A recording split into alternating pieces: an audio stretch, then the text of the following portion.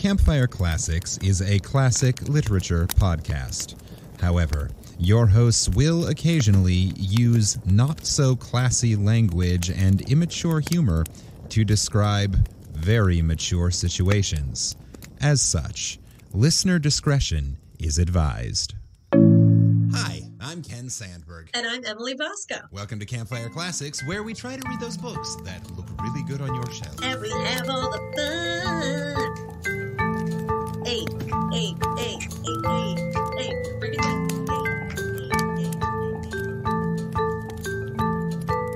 This is a good song. I like this. I don't think not enough No. episodes start with a dance party.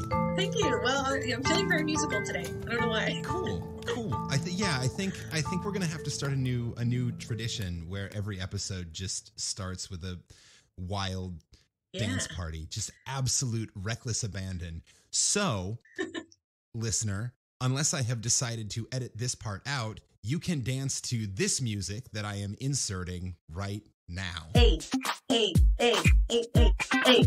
Break it down. Hey, hey, hey, hey, hey. Hey, hey, hey, hey,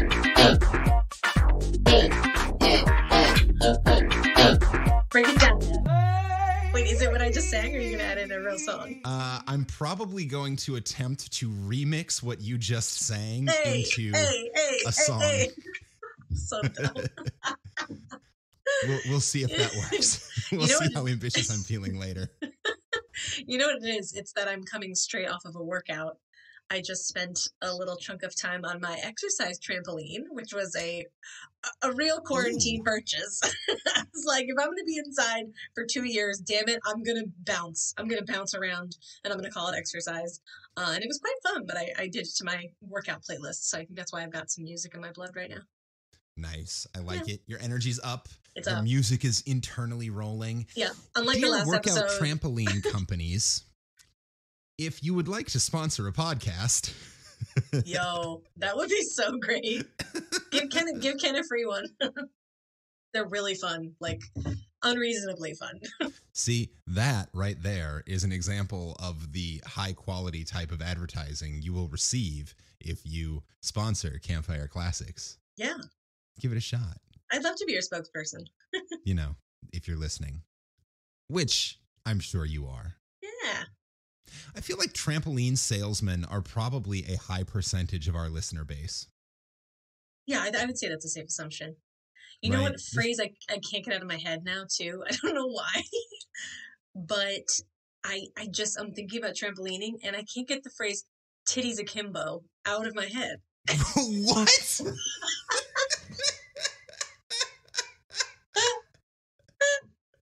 because What what does that have to do with anything? Because happens when you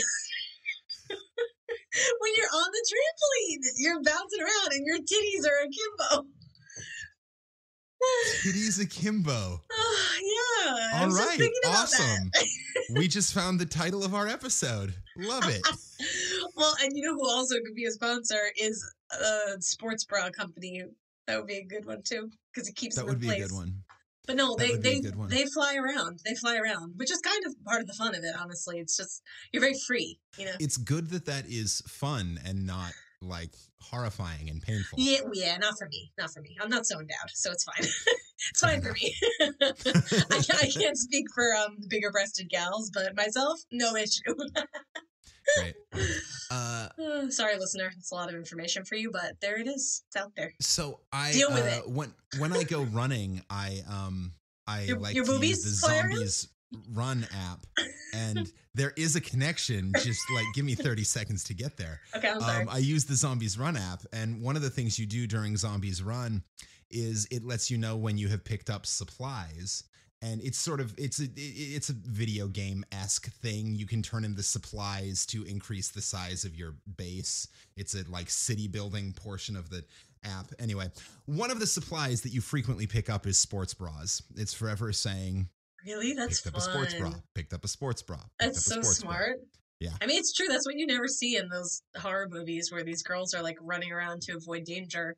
They're usually in like whatever clothes they were in when the, the apocalyptic event happened, which is like Mhm. jeans and a whatever. But I'm like, man, you wish you were in workout clothes because that's hard to do. I'm, I, I, I'd be willing to bet that one of the first places so the first place to get hit up in an apocalypse is going to be a grocery store. Yep. Um, but I'm guessing something like a Dick's Sporting Good is going to be really close second. Well, probably Walmart and Target because they have a lot of that stuff plus food. But but sporting goods stores, they're gonna they're gonna Yeah. get hit up pretty early on. Yeah, it's true. People are gonna want to want to get clothes that they can move in. Women are gonna want their sports bras. You don't want to go through the apocalypse with like an underwire digging into your ribs. No, underwire is. Mm-mm. I don't. I don't fuck with it. I just don't fuck with it in general, but especially not for um escaping a a life threatening situation. No, no, Right. ma'am. So, dear camper, if the apocalypse were to hit tomorrow, after you go to the grocery store and steal all of the food you can, what is your apocalypse survival plan? What are the first couple of places you're going to hit Mm. up? I would really like to know. I every time I make my way to a new city, I I put together my sort of apocalypse escape route and my zombie survival plan and all that. So I would love to know what yours is, uh, wherever you are, and maybe we can team up. We can we can let our plans be at cross purposes. Yeah. so this week when you email 5050artsproduction at gmail.com or send a message to any of the Campfire Classics uh, social media, tell us what your apocalypse survival plan is. Yeah. Yeah. If the world ends, we got all band together. Safety in numbers. Plus, we'll all have good stories to tell it's true. Because that's what we Around- do. Around literal campfires, because we'll probably be like setting garbage on fire in the streets to stay alive. Yeah, it'll be, So- th- there will be, yeah, Yeah. trash can fires. I will be uh, quickly making my way to some place that isn't Iowa City because I am back in Iowa, listener, and it is like six degrees outside right now, which is not a ton of fun. So I'll be going somewhere where maybe a campfire isn't quite so necessary for survival. Was this podcast born in Iowa? I think so. Yay! Certainly, we've recorded a lot of it from here. Oh, yeah. Welcome home, podcast. Yeah. Welcome back to Iowa, listeners. What's it like there? um, What's going on? it's cold. That's it. That's pretty much it. Um, there was a little. Uh, I'm house sitting in Iowa. We had a winter storm a couple of nights ago, so I ended up shoveling the driveway like four times. That was really exciting. Um, but fortunately, the weather has gotten nicer, and um, I've mostly stayed inside. Yeah. That's it. There's not much going on in Iowa. Uh, I've watched the entirety of Loki, and uh, Featuring my, watched my husband, Tom Hiddleston.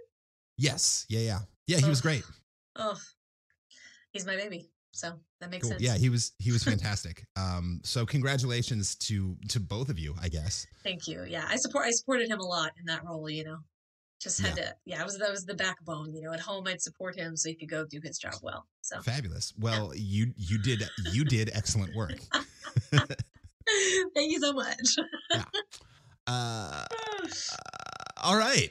Um, well, that's ridiculous. So, how about if we get to what we actually do? Because this show is not a Tom Hiddleston fan cast, much as it probably should be.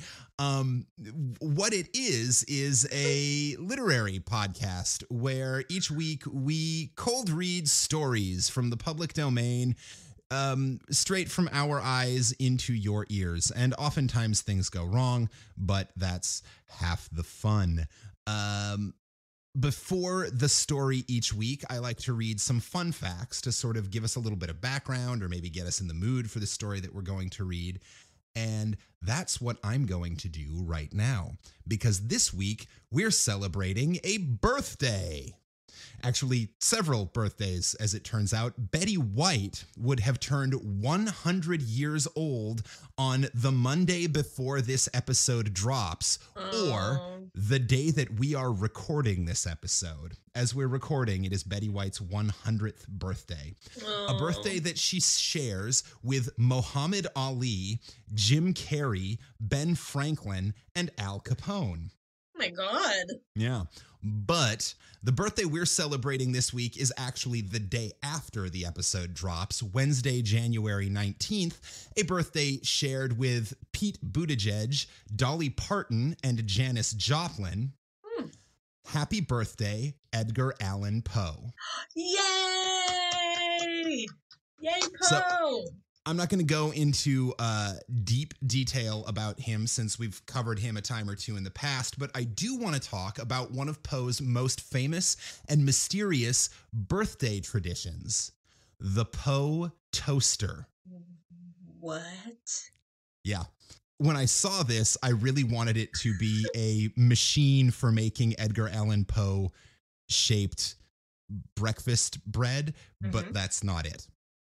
Um, so, sometime during the 1930s, starting in there somewhere, every year in the wee small hours of January 19th, a shadowy figure dressed in black with a wide brimmed hat and white scarf would visit the marker for Poe's original burial site in Baltimore, Maryland, pour himself a glass of cognac, and raise a toast to Poe's memory, then Mhm. vanish into the night, leaving three roses in a distinctive arrangement and the unfinished bottle of cognac. Hmm. This started sometime in the 1930s. It's not exactly clear what year.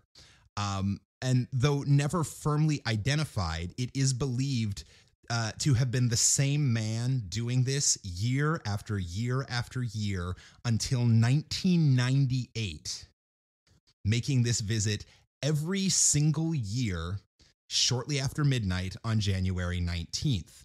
In 1999, a younger man inherited the mantle of toaster and took over, presumably because the older man got too old or passed on and he decided to um, pass the tradition on to the next generation. In 2006, uh, onlookers attempted to detain, identify, and question the new toaster, which is possibly why in 2009, the bicentenary of Poe's birth, the toaster made his final appearance. Wow. In the years following, imposter toasters tried to pick up the torch, but they always were easily identifiable as not the original. They would walk through the crowd and make a show of it rather than keeping distance and secretive and a relatively low profile. They arranged the flowers wrong. They didn't do specific movements or they said the wrong words. There were lots of little details that they missed. Mm. In 2016, the Maryland Historical Society selected a new toaster in an attempt to revive the tradition, but this also seems to have been done more for show than anything else, because among other things, this new toaster arrives during daylight hours on the weekend nearest to the birthday so that tourists can enjoy the event. Sure. One man did claim to have been the original toaster, but inconsistencies in his story lead most historians and Poe enthusiasts to think that he's just trying to claim credit for someone else's shtick. So, the identity of the Poe toaster remains a mystery, a mystery that I think Mr. Poe would have enjoyed. Yeah. Happy birthday, Edgar. This week, Emily, you will be reading The Angel of the Odd. Okay. Let's start this fire.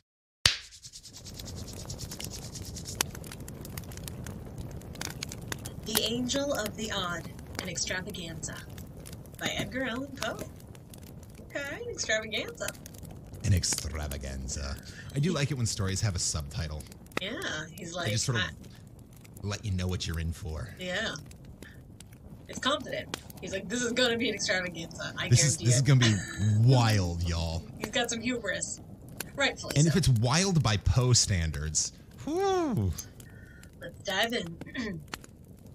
it was a chilly November afternoon. I had just consummated an unusually hearty dinner, of which the dyspep consummated. wow. Okay. He was really going after that food. All right, my man. Okay, you American pied it. Got it.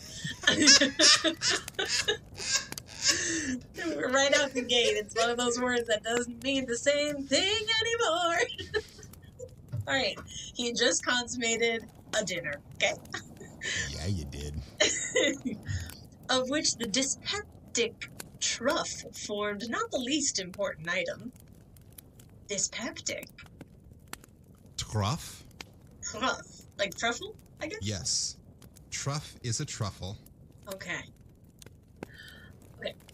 Of which the dyspeptic truff. Dyspeptic. Yeah, what's that? Of or having indigestion or consequent irritability or depression. So, so spicy.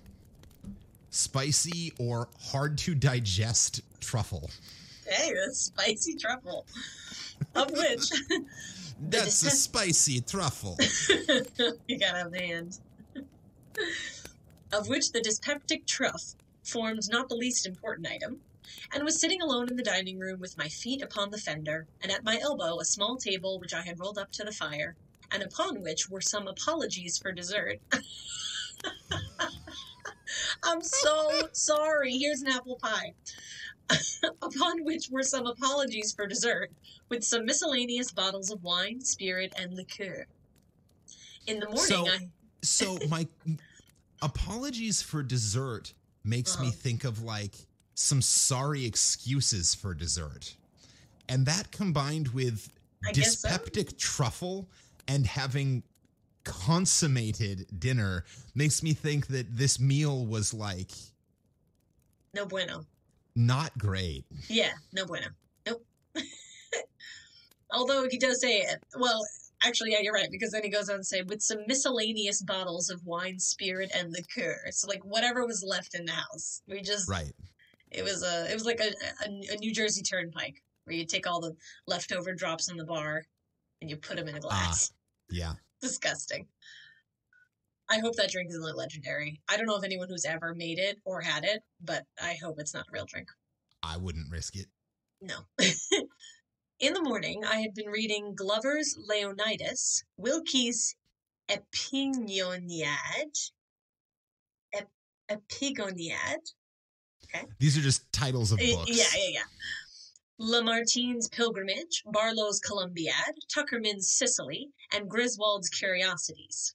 I am willing to confess, therefore, that I now felt a little stupid. I made effort to arouse myself Mhm. by aid After of frequent consummating with dinner, yeah, you're gonna need to. Yep. By aid of frequent Lafitte, and all failing, I betook myself to a stray newspaper in despair.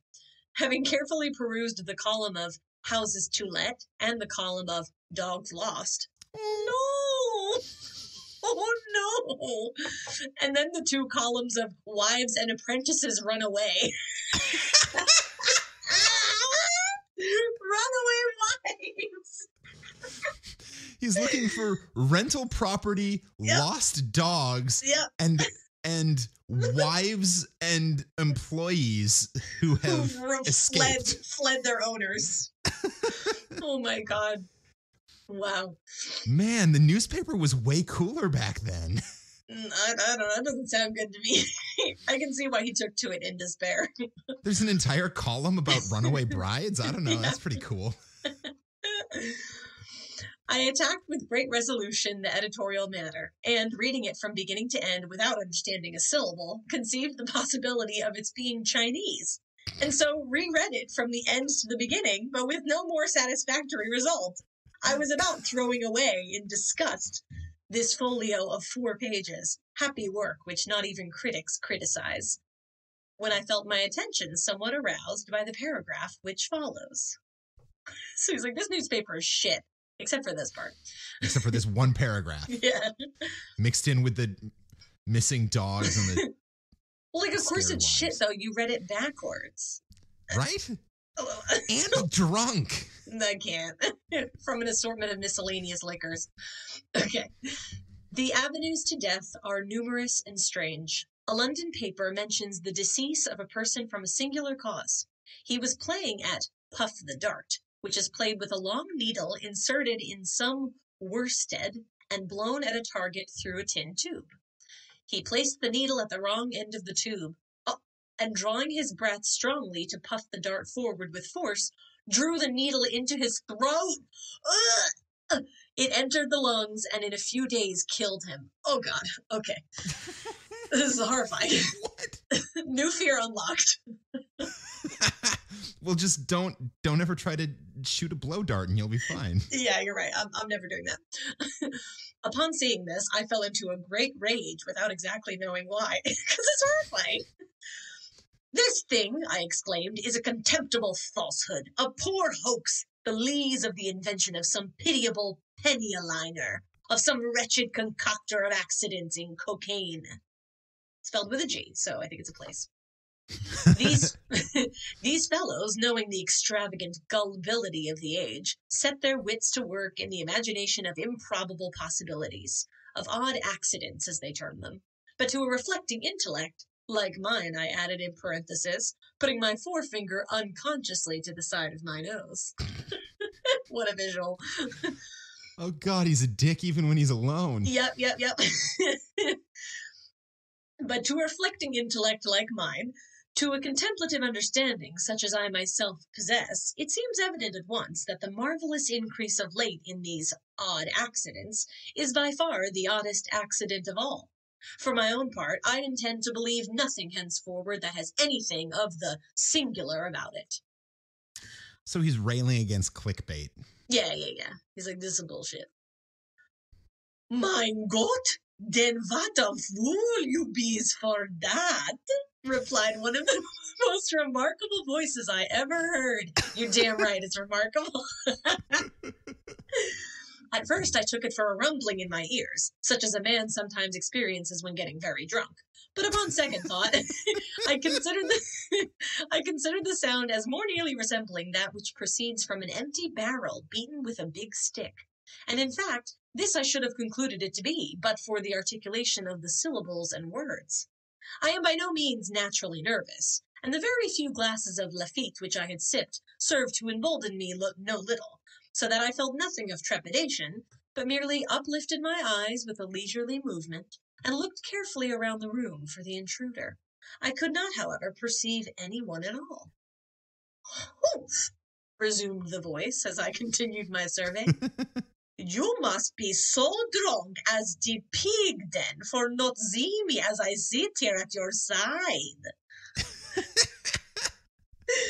Hereupon I bethought me of looking immediately before my nose, and there, sure enough, confronting me at the table, sat a personage nondescript, although not altogether indescribable.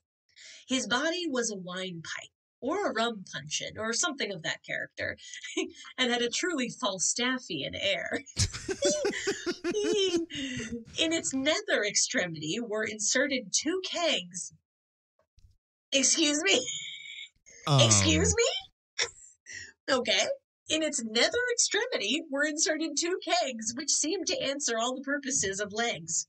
For arms, there dangled from the upper portion of the carcass two tolerably long bottles, with the necks outward for hands. All the head that I saw the monster possessed of was one of those Hessian canteens which resemble a large snuff box with a hole in the middle of the lid.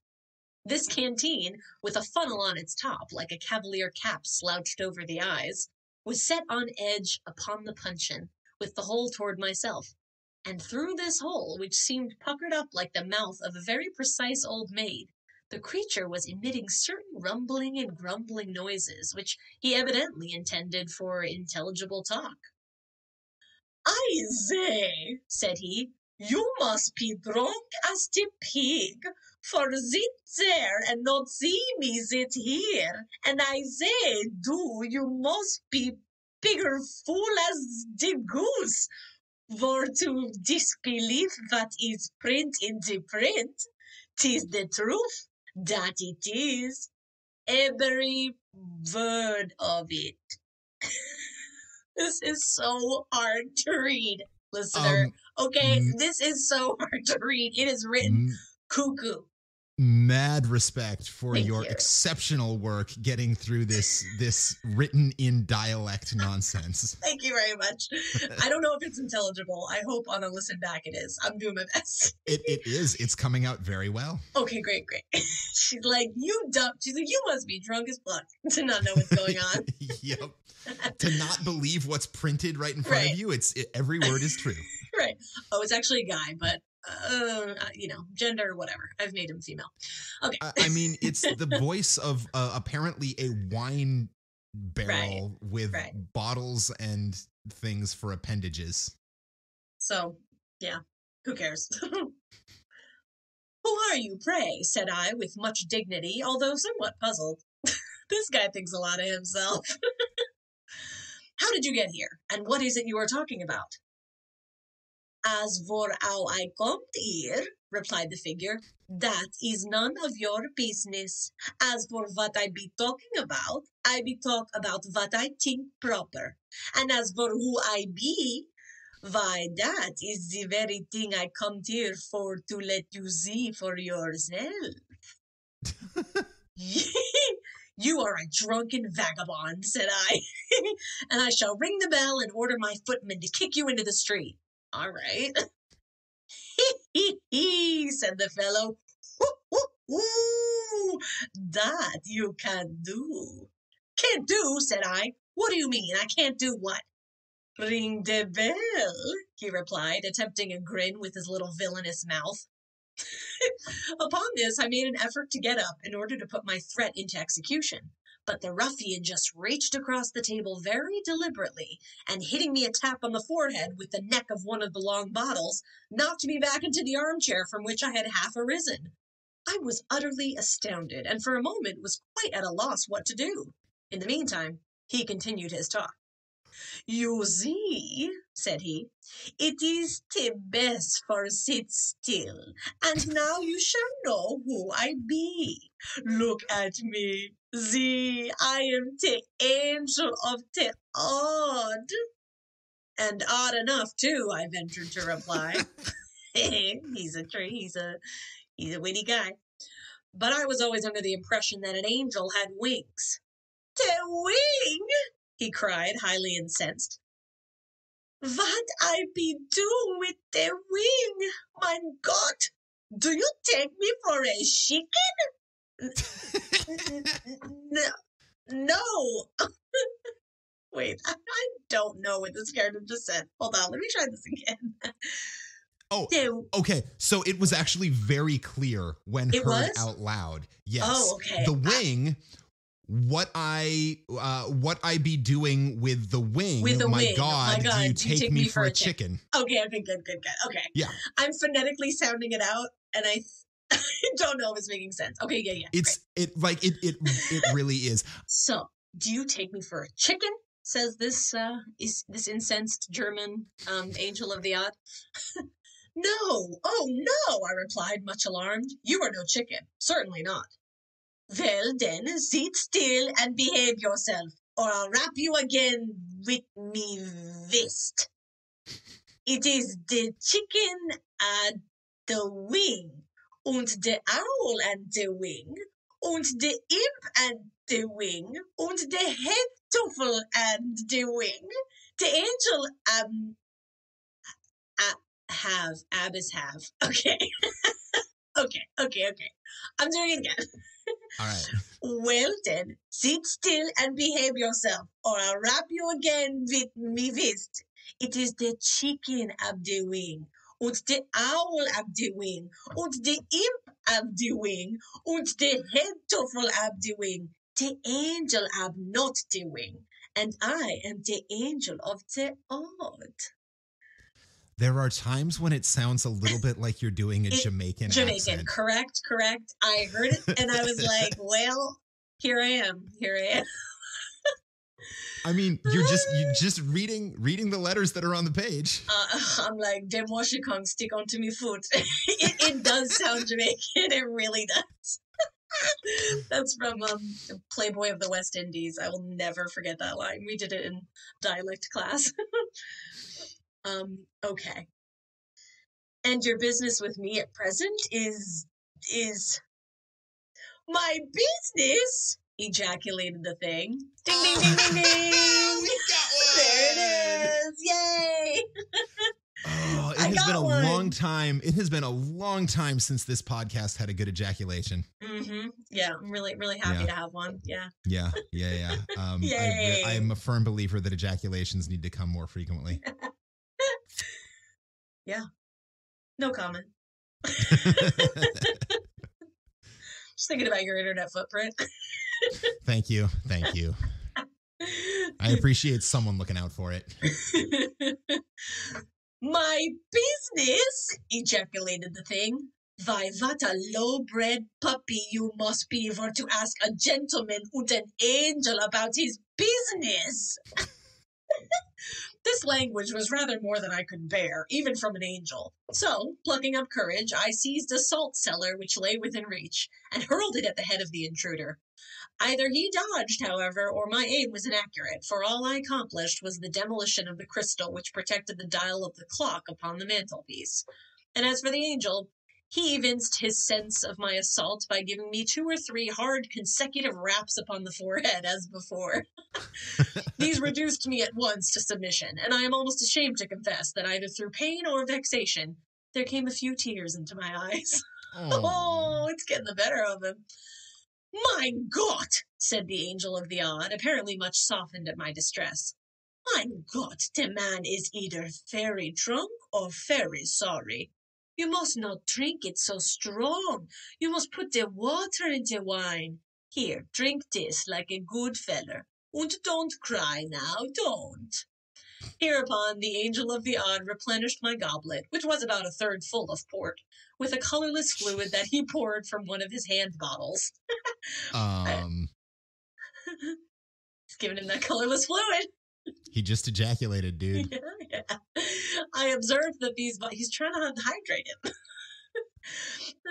I observed that these bottles had labels about their necks and that these labels were inscribed Kirschenwasser. The considerate kindness of the angel mollified me in no little measure, and aided by the water with which he diluted my port more than once, I at length regained sufficient temper to listen to his very extraordinary discourse. I cannot pretend to recount all that he told me, but I gleaned from what he said that he was the genius who presided over the contretemps of mankind, and whose business it was to bring about the odd accidents which are continually astonishing the skeptic. Once or twice, upon my venturing to express my total incredulity in respect to his pretensions, he grew very angry indeed, so that at length I considered it the wiser policy to say nothing at all, and let him have his own way. He talked on, therefore, at great length, while I merely leaned back in my chair with my eyes shut, and amused myself with munching raisins and filliping the stems about the room. Ah, filliping the stems about the room. The stems of the raisins? So they must still be grapes, no? Well, or I I think, um, I think once upon a time, raisins were allowed to become raisins still on the. Oh, yeah, they, they just, yeah, you're right. They just were like, let them shrivel. Put 'em the sun. Um, but Got it. Filliping, I think it's flipping, no? Like that's just an extra eye. Yeah. Filliping, archaic. To propel a small object with a flick of the finger, yeah. and it's yeah, it's fillip. Yeah. Cute. Um, okay. So he, he amused himself with munching raisins and filliping the stems about the room. So wait, this angel is telling this skeptical dude, like, I'm the one who's making all these spooky things in the papers happen, right? Yes, yeah, yeah. Presumably he's visited him because he's like, I don't believe any of this stuff in the paper. But this angel's like, I'm the one doing it. It's Yeah. real. yeah. It. That's what it sounds like. Yeah. The angel suddenly construed this behavior of mine into contempt. He arose in a terrible passion, slouched his funnel down over his eyes, swore a vast oath, uttered a threat of some character which I did not precisely comprehend, and finally made me a low bow and departed, wishing me, in the language of the Archbishop in Gil Blas, beaucoup de bonheur et un peu plus de bon sang. I don't speak French, but that was my best His departure afforded me relief. The very few glasses of Lafitte that I had sipped had the effect of rendering me drowsy, and I felt inclined to take an. he keeps impressing how little alcohol he's had, but I'm like, it sounds like you have actually had quite a bit. yeah. That's the thing is he's had a He's being little like, I was alcohol, barely drunk. I was barely drunk. But he had a little alcohol and then another little alcohol and You're then right. another little alcohol Right. and then another little alcohol. Right. Uh, also, I think the French sentence that the angel of the odds said was something about um, uh, wishing me uh, many a good hour and a little good sense. okay. Good. Yep. That's great. Yes. Thank you. So, the very few glasses of Lafitte that I had sipped had the effect of rendering me drowsy, and I felt inclined to take a nap of some fifteen or twenty minutes, as is my custom after dinner. At six, I had an appointment of consequence, which it was quite indispensable that I should keep. The policy of insurance for my dwelling house had expired the day before, and some dispute having arisen, it was agreed that at six I should meet the board of directors of the company and settle the terms of renewal. Glancing upward at the clock on the mantelpiece, for I felt too drowsy to take out my watch, I had the pleasure to find that I had still 25 minutes to spare. It was half past five. I could easily walk to the insurance office in five minutes, and my usual siestas had never been no. Okay, got a little, it's got a little Spanish flair there. Yeah. and my usual This is siesta. this this whole story is just uh Poe showing off that he's a polyglot. Right. I'm like, okay, look at all these languages. uh, and my usual siestas had never been known to exceed five and twenty. I felt sufficiently safe, therefore, and composed myself to my slumbers forthwith. Having completed them to my satisfaction, I again looked toward the timepiece and was half inclined to believe in the possibility of odd accidents when I found that instead of my ordinary fifteen or twenty minutes, I had been dozing only three, for it still wanted seven and twenty of the appointed hour. I betook myself again to my nap, and at length a second time awoke, when, to my utter amazement, it still wanted twenty seven minutes of six. I jumped up to examine the clock, and found that it had ceased running. My watch informed me that it was half past seven, and of course, having slept Oop, been there. And of course, having slept one time when I was at UNC, I was taking a, you know, that that grad school life. I was taking a nap during our dinner break, and the stage manager had to come into the grad student lounge and wake me up and be like, "Emily, rehearsal started five minutes ago." And I was like, "What? Oh my god! Oh my god!" I just like ran to the rehearsal hall without my bag or any of my script, anything, and I was like, "I'm so sorry." they were like, "We've all been there. It's fine." Yep. At least it didn't happen during a show. I, I've heard the uh, the legends of people who have like slept through call and like missed their time to actually be on stage, which was terrifying. There's Um, a story about um I I don't know I don't know that it's true.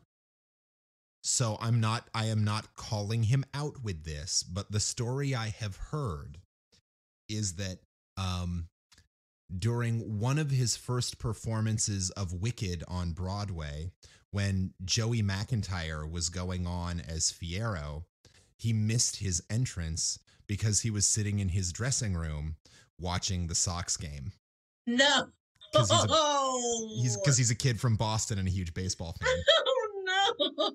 I mean, that's that story is still endearing somehow. I'm like, that's cute. And so like Oh, because he makes he makes his first entrance, he gets like pulled on on that that like um cart thing and it turns around and there's Fiyero, right? And so the cart Oh. went on and it turned around and there was no one there. I'm sweating thinking about being on the stage. I'm like, how do you recover from that? Oh my god. Woo! Theater, live theater. I love it. I miss it. It's crazy. Um, okay.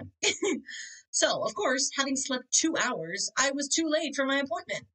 It will make no difference, I said. I can call at the office in the morning and apologize. In the meantime, what can be the matter with the clock? so he didn't give a fuck. He's like, whatever this clock. Upon examining it, I discovered that one of the raisin stems, which I had been filliping about the room during the discourse of the Angel of the Odd, had flown through the fractured crystal and lodging singularly enough in the keyhole, with an eye projecting outward, had thus arrested the revolution of the minute hand. the filliping comes back. Ah, said I, I see how it is. This thing speaks for itself. A natural accident, such as will happen now and then. I gave the matter no further consideration, and at my usual hour, yeah, totally normal. And at my usual, yeah, and at my usual hour, retired to bed. Here, having placed a candle upon a reading stand at the bedhead, bedhead, and having made an attempt to peruse some pages of the Omnipresence of the Deity, I unfortunately fell asleep in less than 20 seconds, leaving the light burning as it was. Oh boy. These all sound like the actions of a only slightly drunk man. Just a little bit. Just a little bit. A very few glasses of Lafitte. he's drunk and he's still like, but I read. I read though. Here's another book that I read. All these fancy titles. Never mind the rather obvious metaphor of a an angel built of drinking equipment literally punching him in the head with one of Mhm. his bottle hands. sure, sure, yeah. He had to be smacked across the face with the symbolism, and he's still not accepting it. My dreams were terrifically disturbed by visions of the angel of the odd. Methought he stood at the foot of the couch, drew aside the curtains, and in the hollow, detestable tones of a rum puncheon, menaced me with the bitterest vengeance for the contempt with which I had treated him. He concluded a long harangue by taking off his funnel cap, inserting the tube into my gullet, and thus deluging me with an ocean of Kirschenwasser, which he poured in a continuous flood from one of the long necked bottles that stood him instead of an arm. It's just the most rapey thing. Oh my god. My agony was at length insufferable, and I awoke just in time to perceive that a rat had ran off with the lighted candle from the stand. but not in season to prevent his making his escape with it through the hole. Okay. Uh, okay, chaos. Very soon, a strong, suffocating odor assailed my nostrils. The house, I clearly perceived, was on fire.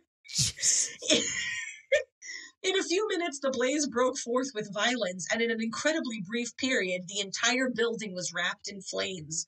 All egress from my chamber, except through a window, was cut off. The crowd, however, quickly procured and raised a long ladder. By means of this, I was descending rapidly, and in apparent safety, when a huge hog, about whose rotund stomach, and indeed about whose whole air and physiognomy, physiognomy, there was something which reminded me of the angel of the odd. When this hog, when this hog, I say, which hitherto had been quietly slumbering in the mud, took it suddenly into his head that his left shoulder needed scratching, and could find no more convenient rubbing post than that afforded by the foot of the ladder. In an instant I was precipitated, and had the misfortune to fracture my arm. oh my god. This is a story about a guy who cannot catch a break. He can't get to raise. Poor dude. This accident, with the loss of my insurance, and with the more serious loss of my hair, the whole of which had been singed off by the fire. but now he's bald and sad and has no insurance. Sounds like America. Um, let's see. Predisposed me to serious impressions, so that finally I made up my mind to take a wife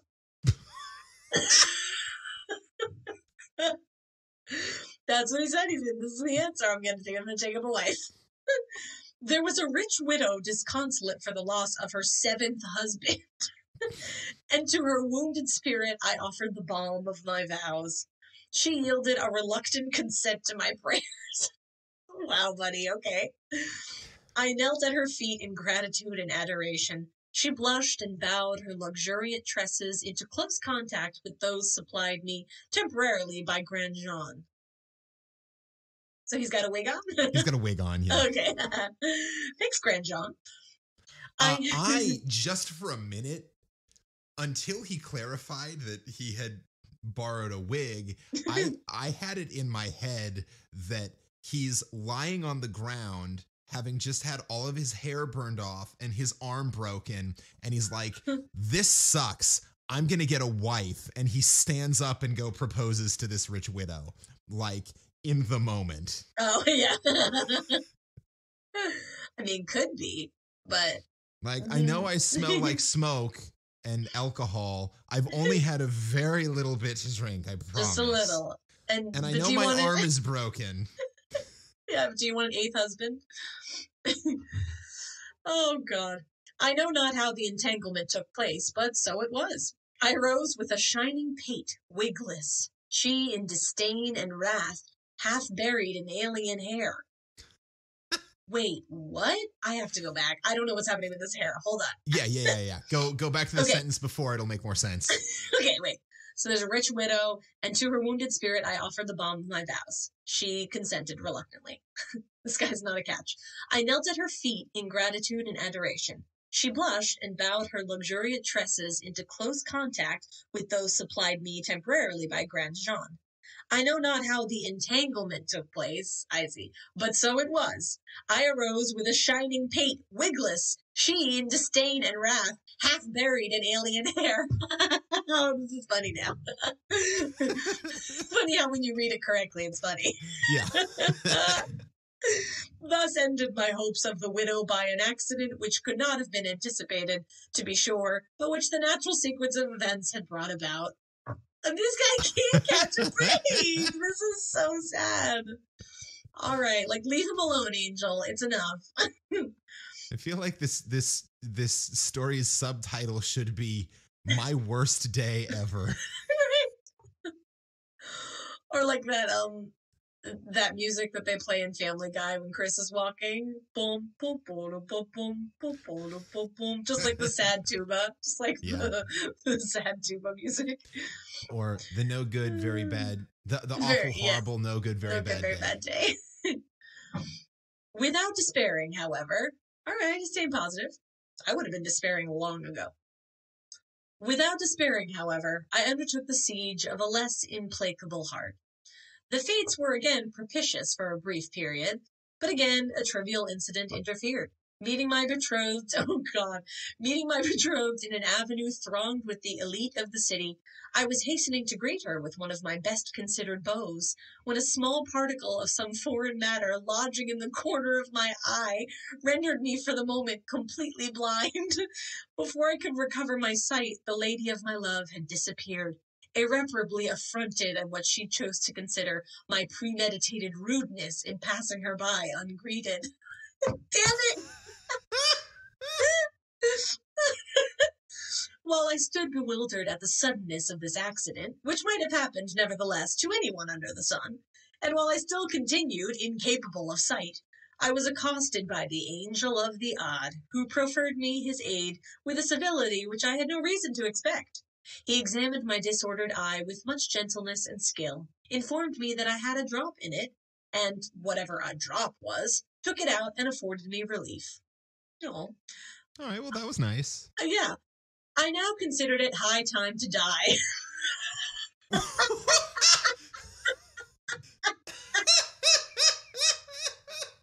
Ah. I'm done. I'm thrown in the towel. I had a fucking eyelash in my eye. That is the last fucking straw. oh my god. Well, I think I gotta I gotta Oh, imagine so that the funny. last straw is actually the realization that he's like, either I am being haunted by Yep. a fucking mischief demon, Yep. or I have oh. had so much to drink that I am now hallucinating this fucker. it's true. Either, Either way, way. it's not good. I quit. I quit. Yeah, I quit. I I'm quit. done. I'm out. I now considered it high time to die, since fortune had so determined to persecute me, and accordingly made my way to the nearest river. I don't know why it's so funny. Oh my god. Here, oh god. Here, divesting myself of my clothes, for there is no reason why we cannot die as we were born. Sure. Sure, sure. Good, good little um, philosophical thought in there. I threw myself headlong into the current, the sole witness of my fate being a solitary crow that had been seduced into the eating of brandy saturated corn, and so had staggered away from his fellows. What? Who's soaking corn in brandy? and giving it to one crow. oh god! So not only is this guy like, Crow. You want to come over here and eat some brandy corn? no, I don't Try like it. it. No. You'll like it. Get away from me in your van! Get away! Oh god! So it's him and a drunk crow, huh? That's com- Wow. a completely unnecessary version of Stranger in a Van with Candy. Yeah, totally. totally. Brandy sa- Who's eating corn soaked in brandy? I mean, these were hard times. These were hard times. Hang on, I'm gonna I'm gonna look it up and see if that's a thing. Oh God. You can make a brandy style moonshine from corn. Oh. so it's they were possible that that yeah that he was um that that the crow was like eating the corn mash that was supposed to be turned into a brandy and got drunk God. Oh, it's great. That's great. And it staggered away from its fellows and came Yep. upon the saddest, baldest man in the world committing suicide in a river, naked as the day he was born. Woo! What an image. so, no sooner had I entered the water than this bird took it into its head to fly away with my most indispensable portion of my apparel. Postponing, therefore, for the present, my suicidal design, I just slipped my nether extremities into the sleeves of my coat and betook myself to a pursuit of the felon with all the nimbleness which the case required and its circumstances wait you pulled your coat admit. on over your legs Yeah, and also would the bird take his toupee? maybe What he? He just said he was naked. Divesting myself of my clothes, I threw myself headlong into the current. Yeah, this bird took took it onto its head to fly away with the most indispensable portion of my apparel. I think it took his hair again, although I didn't know he had hair again. I don't know. So now he's running around with his legs in the sleeves of his coat. Okay. yeah betook myself to a pursuit of the felon. But my evil destiny. so funny. Oh, God. But my evil destiny attended me still. As I ran at full speed, with my nose up in the atmosphere and intent only upon the purloiner of my property, I suddenly perceived that my feet rested no longer upon terra firma. The fact is, I had thrown myself over a precipice and should inevitably have been dashed to pieces, but for my good fortune in grasping the end of a long guide rope, which depended from a passing balloon. what Ah.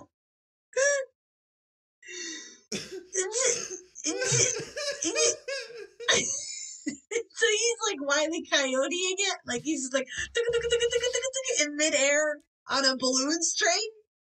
yeah Okay. All right. Okay. Oh. As soon as I sufficiently recovered my senses to comprehend the terrific predicament in which I stood, or rather hung, I exerted all the power of my lungs to make that predicament known to the aeronaut overhead. But for a long time I exerted myself in vain. Either the fool could not, or the villain would not, perceive me. Meantime, the machine rapidly soared, while my strength even more rapidly failed. I was soon upon the point of resigning myself to my fate and dropping quietly into the sea. When my spirits were suddenly revived by hearing a hollow voice from above, which seemed to be lazily humming an opera air. Looking up, I perceived, say with me, everybody, the angel the of angel the of the odd. the angel of the odd, who is German and Jamaican. he can't He w- decide He can't decide. He was leaning with his arms folded over the rim of the car and with a pipe in his mouth, at which he puffed leisurely, seemed to be upon excellent terms with himself and the universe. I was too much exhausted to speak, so I merely regarded him with an imploring air. For would several minutes. would it be Jamaican Jamaican. Thank you. Yes. Jamaican Jamaican. Yeah. which works both as a portmanteau Yeah. and as the first half of the sentence, Jamaican me crazy. I hate you. I hate you. And that's it, folks. You're The so proud of podcast that. is over. You're so proud of that we one. had a good run. Oh my god, I'm joking. Oh god. Oh, okay, okay, here we go. Oh. So what is happening happening tonight. Fucking hell. Woo! okay. For several minutes, so he's flying through the air on a balloon for several minutes. Yep. The angel's just looking at him. Although he looked me full in the face, he said nothing.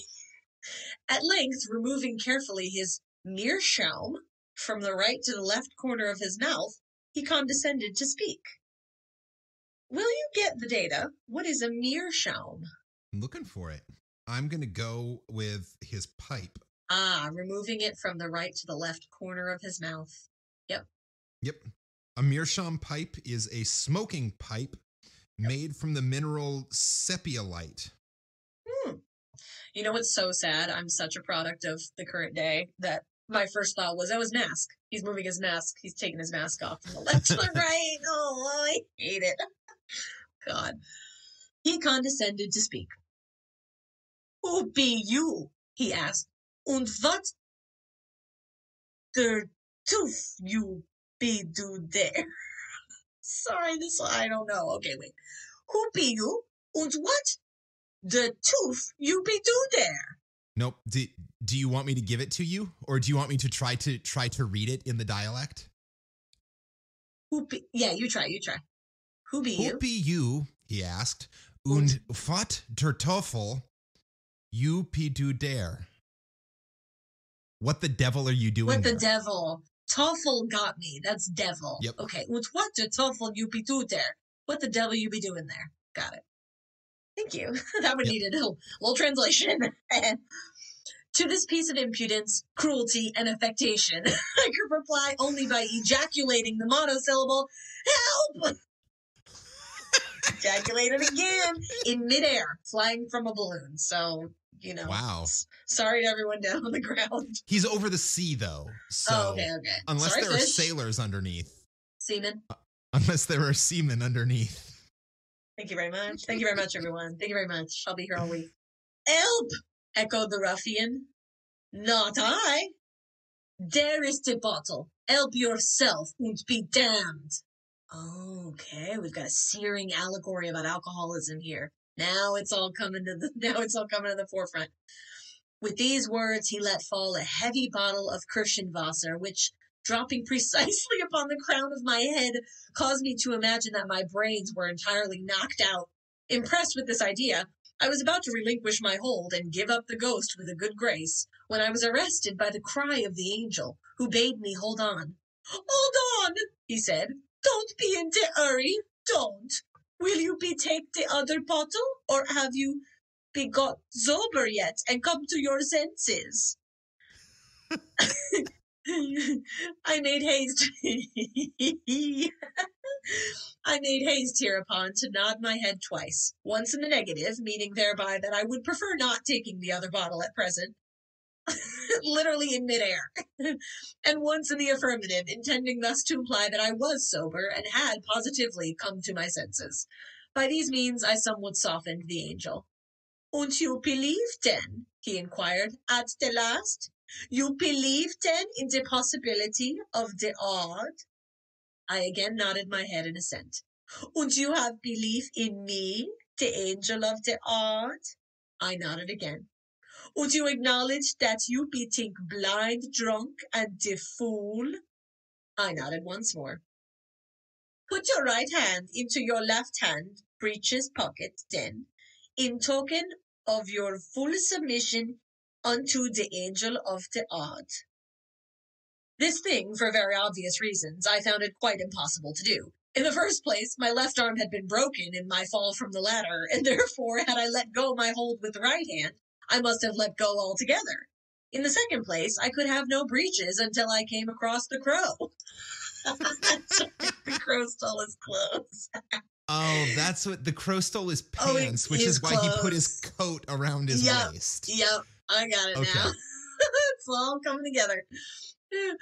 I so he's like, dude, I can't do this for many reasons. I was therefore obliged, much to my regret, to shake my head in the negative, intending thus to give the angel to understand that I found it inconvenient just at that moment to comply with his very reasonable demand. No sooner, however, had I ceased shaking my head than Go to the devil then! roared the angel of the odd. In pronouncing these words, he drew a sharp knife across the guide rope by which I was suspended, and as we then happened to be precisely over my own house, which during my peregrinations had been handsomely rebuilt, it so occurred that I tumbled headlong down the ample chimney and alit upon the dining room hearth. Upon coming to my senses, for the fall had very thoroughly stunned me, I found it about four o'clock in the morning. I lay outstretched where I had fallen from the balloon. My head groveled in the ashes of an extinguished fire, while my feet reposed upon the wreck of a small table, overthrown, and amid the fragments of a miscellaneous dessert, intermingled with a newspaper, some broken glass and shattered bottles, and an empty jug of the Schiedam Kirschenwasser. Thus revenged himself the angel of the odd. The end. yes. Yay! That, That- was awesome. was utter insanity. oh, it was so funny. Wow. I love that. I love that. All right. So just just uh just to be clear, are we in agreement that this entire story took place in one evening? yeah, I think so. Like the entire thing was his drunken hallucination. Yeah, I think so. And when he woke up at four o'clock in the morning, he woke up like hungover Asleep. Yeah, yeah, yeah, yeah. Yeah. I think so. from the first night. And it did not take Ugh. the weeks and weeks that it okay, cool, cool, cool. no. I mean, which would make sense, like you were saying before. You were like, I picture him like falling off the ladder after getting out of his burning house, and then immediately stumbling over to the first woman he sees and being like, "Marry me!" Like that. Yeah. That all checks Yeah. out. Yeah, I well, think it's why- time time got a little funny in the story. Yeah. Well, and it's why he was so like calm about, well, that sucked. Well- so I decided to kill myself. right. oh God, that was great. Wow. So so kids, learn your lesson from Poe. Don't drink. I guess. don't drink. Just don't drink. Period. Not not even don't drink and drive. Just don't do it Just at all. don't drink. Definitely don't drink and hot air balloon. Oh my lordy. Oh my lordy. That was that I mean that is a really funny detail that the angel's like the only way I'm going to help you out is if you will like put your right hand on your heart and he's like I'm literally holding onto a balloon in the middle of the air with my right hand. I can't do it right now. And he's like fuck you. so funny. Bye. Oh, God. That is good stuff. I think, you know, for Poe, who I always think of as, you know, so dark and ooky spooky, that's a really fun one to read on his birthday. Yeah. Thanks, Poe. I'm glad you were Well, born. And I think the last Poe one we did on this podcast was That one was the, silly too. was the Devil in the Belfry. Uh huh. Yep. yeah. Oh Which was God. also which I picked intending it to be kind of a scary one for Halloween. And Yeah. Nope. Oh my God. Yeah, he's a he's a wacky guy. He's a wacky wacky. Yeah. Wow, that was great. And we got some ejaculations in there. And we finally got some eject twice. Ugh, I love it.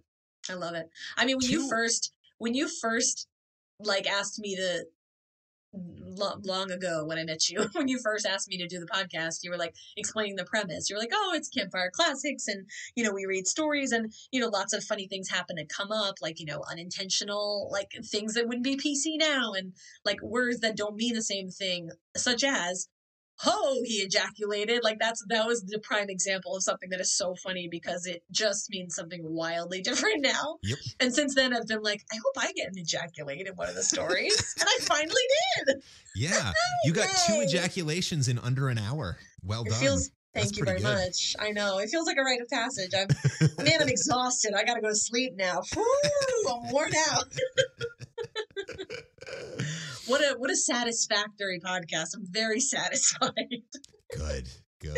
That's you know, we we we do aim to please here at Campfire Classics. Oh, you're so filthy. You're so filthy. This is not wholesome content.